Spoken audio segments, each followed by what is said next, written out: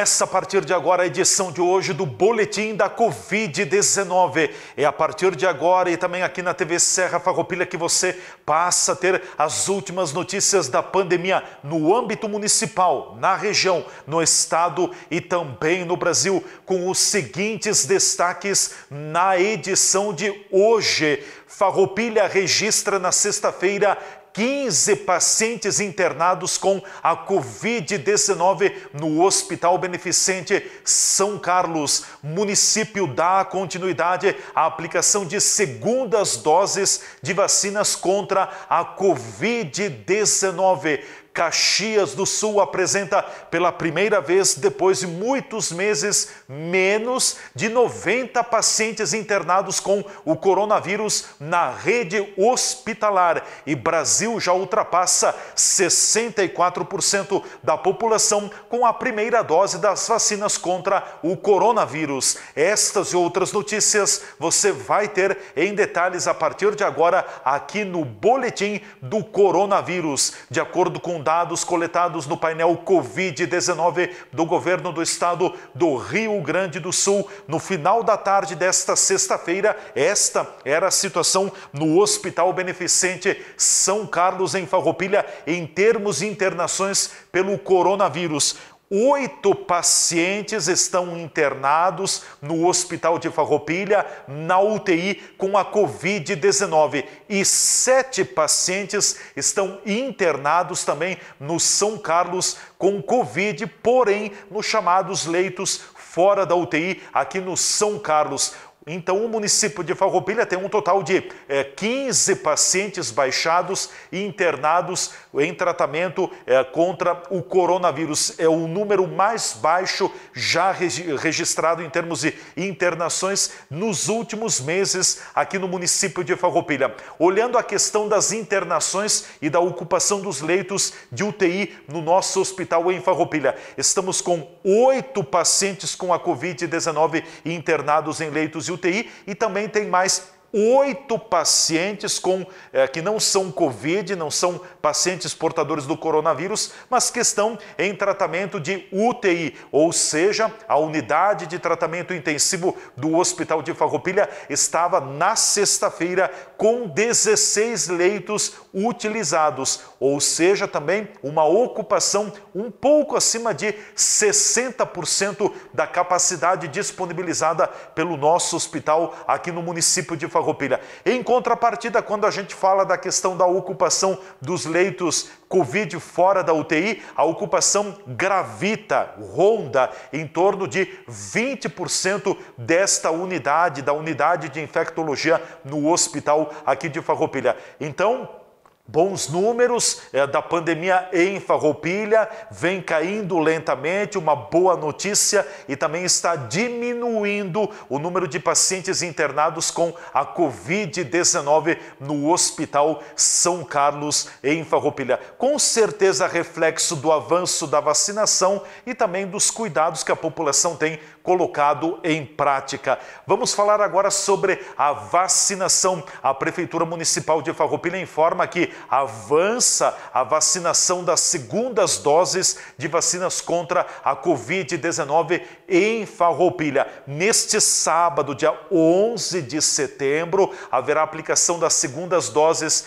para a AstraZeneca e também para a Pfizer, para aquelas pessoas que têm o agendamento da segunda dose até o dia 11 de setembro. A vacinação vai se dar então no Salão da Comunidade São Vicente Mártir, no horário das 8h30 às 11h30 e das 13h30 às 16h30. E na segunda-feira, dia 13 de setembro, então haverá a vacinação segunda dose da Coronavac para quem tem o agendamento da segunda dose até o dia 13 de setembro. O local da vacinação também vai ser no Salão Comunitário São Vicente Mártir, aqui em Farroupilha, no bairro Nova Vicenza, no horário das 8h30 às 11h30 da manhã e depois retorna no período da tarde, das 13h30 até às 16 horas. Lembrando que para fazer a segunda dose da vacina é imprescindível a apresentação da carteirinha de vacinação, aquela que você recebeu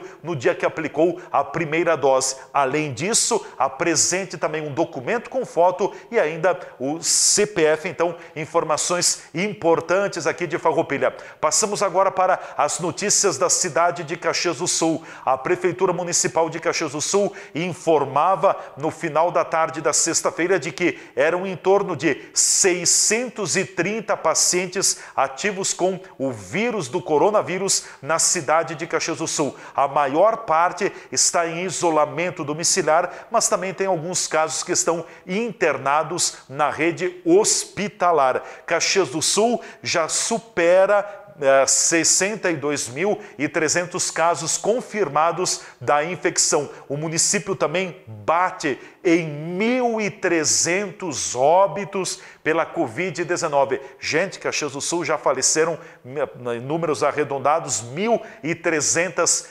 pessoas vítimas do novo coronavírus. É um número que preocupa bastante, né? E a cidade de Caxias do Sul também já tem mais de 64.300 caxienses recuperados da infecção.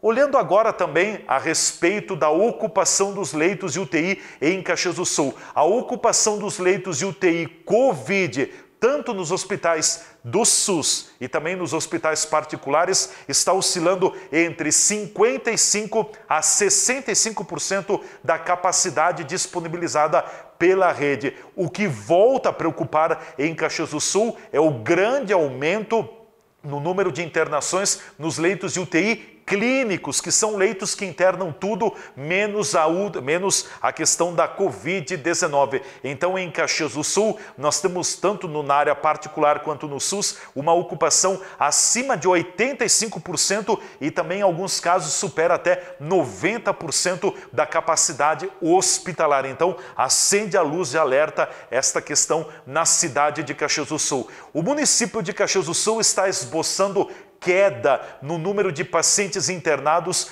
pela Covid-19. Depois de muitas semanas, Caxias do Sul tem menos de 90 pacientes baixados em tratamento para o novo coronavírus. Nós temos então um total de 43 pacientes internados em leitos de UTI com a Covid em Caxias do Sul e um total de 45 pacientes internados em leitos fora da UTI também são pacientes portadores do novo coronavírus, ou seja, um total de 88 pacientes internados era o, balanço da sexta-feira em Caxias do Sul. No município de Bento Gonçalves, aqui na Serra Gaúcha, também os números estão em queda em termos de internações por Covid-19. Um total de 14 pacientes internados em leitos de UTI no Hospital Taquini, em Bento Gonçalves, e também 14 pacientes internados em leitos é, fora da UTI, também pacientes com a Covid-19, totalizando 28 cidadãos internados com coronavírus no município de Bento Gonçalves. Agora vamos para os dados do Rio Grande do Sul. A Secretaria Estadual de Saúde confirmou que na sexta-feira foram oficializados um pouco mais de 3.500 novos casos de infecção por Covid-19 aqui no Rio Grande do Sul. O estado teve a confirmação somente na sexta-feira de 25 óbitos. O Rio Grande do Sul já tem mais de 1 milhão 418 mil casos de infecção pela Covid-19. Também no estado, mais de 1 milhão 378 mil gaúchos conseguiram se recuperar. O Rio Grande do Sul já está quase chegando a 34.500 óbitos em decorrência de complicações do novo coronavírus. A taxa de ocupação dos leitos de UTI aqui no Rio Grande do Sul também vem caindo e se mantendo.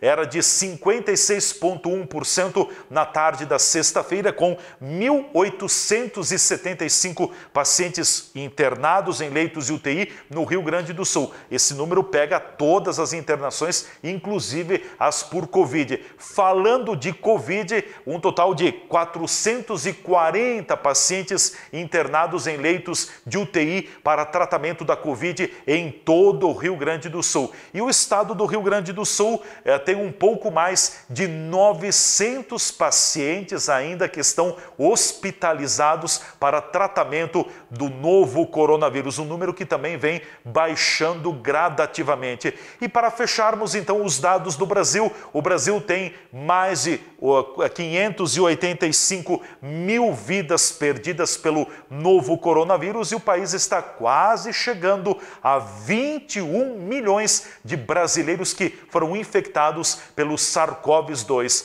A vacinação aqui no Brasil, ah, na faixa de 137 milhões de brasileiros já aplicaram a primeira dose da vacina contra a Covid-19. Isso representa mais de 64% da população brasileira.